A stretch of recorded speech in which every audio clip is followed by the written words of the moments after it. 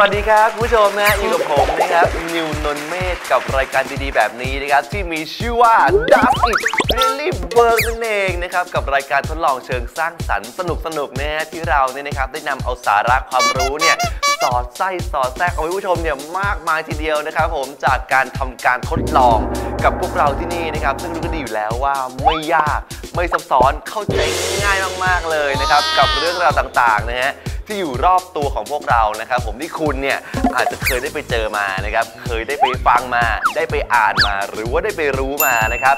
แล้วเกิดสงสัยเหลือเกินนะฮะว่าไอ้สิ่งเหล่านั้นเนี่ยนะครับทำได้อย่างนั้นเนี่ยจริง ๆ หรือเปล่านะครับ รายการของเรารายการนี้เองนะฮะจะเอาสิ่งเหล่านั้นแหละนะครับ ผมมาทำการทดลองกัน ที่นี่จะจะให้เห็นกับตาคุณไปเลยว่า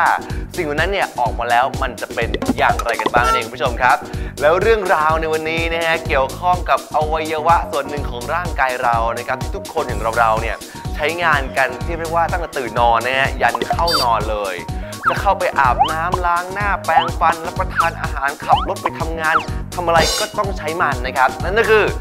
มือนั่นเองคุณผู้ชมครับ มือนี่นะฮะเป็นสิ่งที่เรียกได้ว่าใช้งานหนัก ช้งานบ่อยนะครับ ต้องเจอนู่นเจอนี่ตลอดเวลานะฮะ หยิบมือถือขึ้นมาคุยพิมพ์บีบีกด iPhone ขับรถพิมพ์งพิมพ์งาน ใช้มือทั้งนั้นนะครับ ทีนี้เนี่ยนะฮะมือของเราเนี่ยนะครับคุณผู้ชมรู้หรือเปล่าเขาว่ามือเราเนี่ยเป็นแหล่งรวมเชื้อโรคที่ใหญ่ประมาณต้นๆเลยของร่างกายเราคุณผู้ชมครับ เพราะเราเนี่ยจับนู่นจับนี่ทั้งวันนะฮะและทีนี้นะครับในการล้างมือเนี่ยเป็นปัญหาเหมือนกันเพราะว่ามือของเราเนี่ยสกปรกแล้วเนี่ยนะครับต้องล้างให้สะอาดด้วย แต่ว่า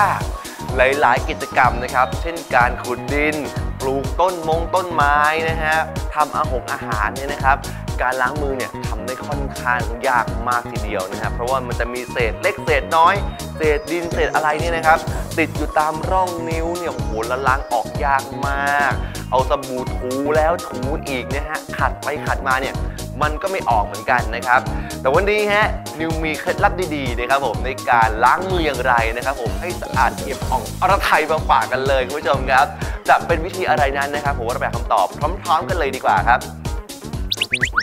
คุณผู้ชมครับเรามาดูกันดีกว่านะฮะว่าเราจะสามารถทำความสะอาดมือของเราอย่างไรนะครับ ให้สะอาดหมดจดนะฮะวันนี้นะครับต้องขอบอกเลยว่าตื่นเต้นมากนะครับ เพราะว่าอุปกรณ์เนี่ย เต็มโต๊ะเลยคุณผู้ชมครับ มีหลายอย่างมากมายเลยนะครับ แต่ไม่ยากไม่ซับซ้อนแน่นอนเลยนะครับ มาดูกันดีกว่าว่ามีอะไรกันบ้างนะครับ เริ่มต้นจากนี่ก่อนเลยนะครับกระมังสีฟ้าๆนี่นะฮะข้างในก็คือน้ำเปล่าสำหรับล้างมือธรรมดาธรรมดานั่นเองนะครับถัดมาทางซ้ายมือผมบ้างดีกว่านะครับ นี่คุณผู้ชม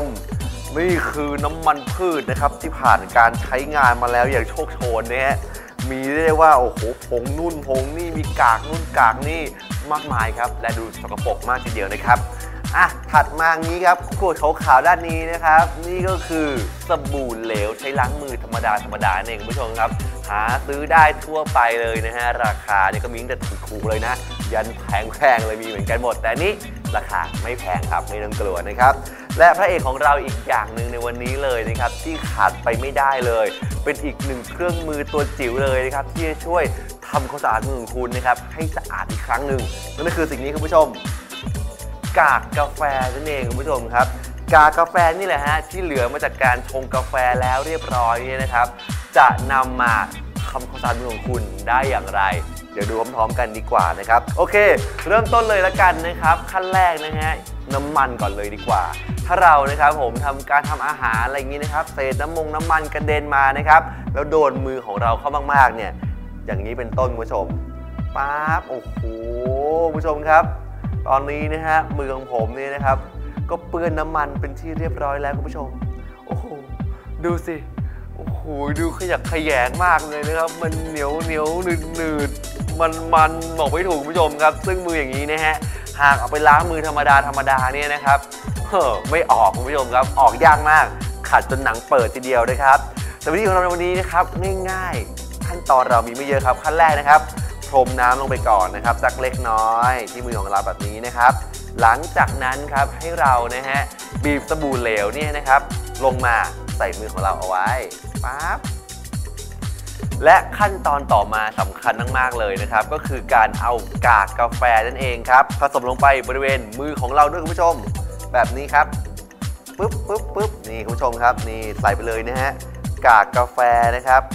ทีนี้นะฮะมือของเรานะครับก็สภาพเป็นอย่างที่เห็นนะครับ ก็จะมีกากกาแฟติดอยู่เต็มไปหมดนะครับ แต่ว่ากากกาแฟนี่แหละครับสำคัญมากเลยในการช่วยขัดมือของเราเองคุณผู้ชมครับ จากนั้นนะฮะแน่นอน ทำการขัดทำการล้างนะครับทำการเช็ดมือของเราให้สะอาดนะครับ อย่างนี้เนี่ยมันเหมือนสปากาแฟคุณผู้ชมครับ นี่ขัดไปเรื่อยๆนะครับทีนี้ผมเชื่อว่ากาแฟเนี่ยกำลังทำงานของมันอยู่นะครับในการช่วยขัดมือของผมให้สะอาดอีกครั้งหนึ่งนะครับแล้วเดี๋ยวเรามาดูกันดีกว่านะครับว่าหลังจากล้างน้ำเปล่ามาแล้วนะครับมือของผมเนี่ยจะกลับมาสะอาดเหมือนใหม่ได้อีกครั้งหรือไม่อย่างไรนะครับคุณผู้ชมครับ เดี๋ยวรอดูกันตอนนี้ผมขอขัดก่อนแล้วกันนะครับ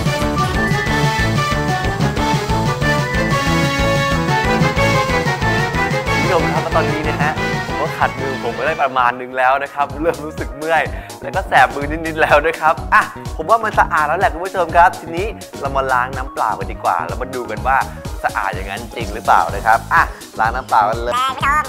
โอ้โหนี่นะครับคราต่างๆนะฮะก็ตกไปอยู่บริเวณน้ำหมดแล้วนะครับอะค่อยๆล้างไปนะครับค่อยๆล้างไปแหมว่าแต่กาแฟที่ห้องนี้หอมจริงเลยคุณผู้ชมครับแหมได้กินแล้วรู้สึกว่าอยากรับประทานกาแฟขึ้นมามากๆเลยนะอืมเส้นๆแบบนี้นะครับแล้วก็เราก็เช็ดกับกระดาษทิชชู่ที่เราเตรียมเอาไว้นั่นเองนะครับคุณผู้ชมครับ สังเกตดีๆนะครับ น้ำที่ผมเตรียมไว้ในตอนแรกนะฮะที่ใสๆอยู่ตอนนี้ได้เปลี่ยนสีไปเรียบร้อยแล้วนะครับ กลายเป็นสีเทาๆขุ่นๆนะครับ และที่สำคัญนะครับ สังเกตเห็นถึงคราบน้ำมันต่างๆนะครับที่มันลอยอยู่บริเวณผิวน้ำเนี่ยเต็มไปหมดเลยอ่าเพราะฉะนั้นนะครับคราบน้ำมันที่มือของผมเนี่ยตอนนี้ไม่เหลืออยู่แล้วนั่นเองคุณผู้ชมครับอะเดี๋ยวดูดีกว่านะครับว่าพอเช็ดให้แห้งเสร็จแล้วเนี่ยนะครับมือของผมเนี่ยจะเป็นอย่างไรกันบ้างนั่นเองคุณผู้ชมครับแหม โอ้โหคุณผู้ชม ตอนนี้นะฮะ ผมรู้สึกถึงความสะอาดที่มือได้อย่างไม่น่าเชื่อเลย มือผมรู้สึกว่ากลับมานวลเนียนผิวนี่แบบคนละสีเลยคุณผู้ชมครับ สังเกตไหมผิวมือของผมกับผิวแขนผมนี่คนละสีเลยนะครับ แล้วก็แบบรู้สึกว่ามือตัวเองตอนนี้แบบ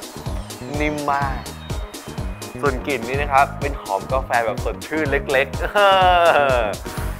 ดมแล้วสดชื่นในยามบ่ายนะครับ กับกลิ่นคาเฟอีนนะครับ โอ้โห แต่ว่าเฮ้ยสังเกตได้จริงว่ามือเนี่ยนิ่มขึ้นเยอะมาก